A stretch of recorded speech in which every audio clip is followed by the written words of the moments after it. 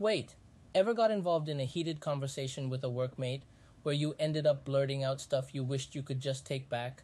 Or how about hearing a buddy's snarky remark got you all fired up and you shot back, only to wish later you have kept your cool?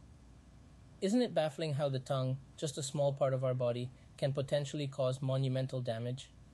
This is our truth, tips, and tricks the power of taking a pause for greater speed. Stay with us and explore how mastering the subtle art of pausing can catapult you to better relationships, effective communication, and yes, greater speed in achieving your goals. Here's an intriguing thought pausing can actually speed us up. It sounds paradoxical, but it's true. A moment's pause can save us hours, if not days, of distress, misunderstanding, and repair.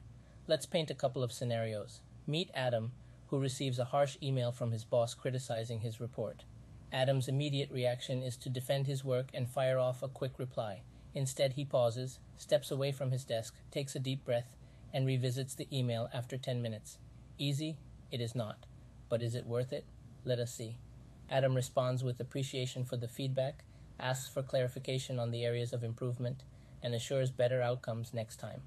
This simple act of pausing from an unnecessary argument possible resentment, and many days of worry about a strained relationship with his boss. Is it worth it? Oh, yeah, definitely. Then there's Linda, who receives a sarcastic remark from a friend about her fashion choices. Her knee jerk reaction is to return the sarcasm, which could potentially harm their friendship. Oh no, but she pauses. She takes a moment to compose herself, then calmly communicates that the remark hurt her and asks for respect towards her personal style.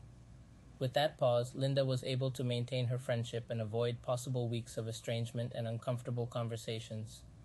The power to pause isn't just about silence, it's about creating a space for better outcomes and hence speeding up our journey towards our goals. So, how do we master this pause? 1. Practice mindfulness. Make it a habit to be fully present in the moment. This will help you in recognizing the triggers and the rising urge to instantly react. Practice means you do this with small things until you get very good at it. 2. Breathe. When faced with a stimulus, take a deep breath. This simple act can help to clear the mind and provide that crucial pause before responding. Try it. 3.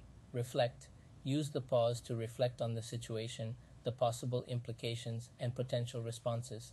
Imagine the troubles that your automatic reactions to unwanted stimulus may bring you to. Imagine if you would want that at all. By integrating the pause into our lives, we can react less, respond more, and hence make our journey smoother and yes, faster. Because in the race of life, it's the pause that can actually give us the momentum. Share, subscribe, and follow for more. And you are welcome.